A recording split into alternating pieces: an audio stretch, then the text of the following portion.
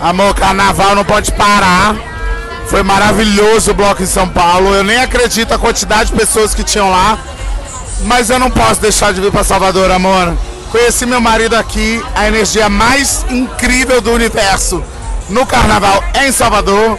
Então aqui eu sempre vou estar e agradeço ao TikTok pelo convite. Tá delicioso. E bora curtir o carnaval todos os dias. Quero até quarta-feira eu tô aqui. Brava é tradicionalíssimo em São Paulo, né? Como é que surgiu essa ideia de ter o seu bloco? De Olha, eu- o seu som na rua? Eu confesso que eu nunca imaginei puxar um trio elétrico. Eu sou do teatro, o teatro sempre foi a minha casa. E depois que eu comecei a fazer show, eu entendi que o Thiago Kruner, o Thiago cantor, podia ser um- mais um instrumento desse artista que eu sou. Então eu estou muito feliz de estar no meu sétimo ano de bloco. O bloco da Brava no segundo, mas já fiz cinco anos com a Gambiarra. Foi maravilhoso e continuar levando alegria, amor e respeito pra galera é o que eu peço pra minha carreira inteira. Sabe que a Vivi Amorim estava me contando ontem que ela também conheceu o marido dela, que é o pai da filha dela, Sim. aqui em Salvador. Conta um pouco como é que foi esse seu encontro.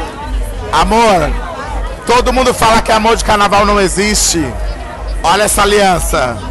Chora nessa aliança. Oito anos de relacionamento conheci aqui em Salvador.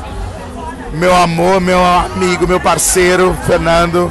Com certeza, Salvador e o Carnaval de Salvador tem uma energia especial. Se você se conectar, aproveita que é bom demais.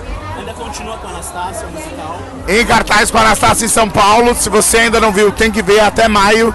Estaremos lá. Eu estou fazendo o Vlad, um personagem divertidíssimo. Vocês vão se apaixonar. Para dar uma finalizadinha, qual é o hit do carnaval desse ano para você? Tá difícil, né, gente? Porque Léo Santana veio com tudo, né? Vem deslizando, vai.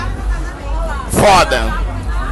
Mas eu amo o Cria da Ivete também. Então tô entre essas duas. Vamos ver o que, que vai dar. Pergunta que eu fiz para algumas pessoas, fazer para você. Se tivesse que escolher voltar pro BBB ou ficar sem carnaval o resto da vida? Ah, eu. Não, eu volto pro BBB, porque sem carnaval eu não fico nem a pau.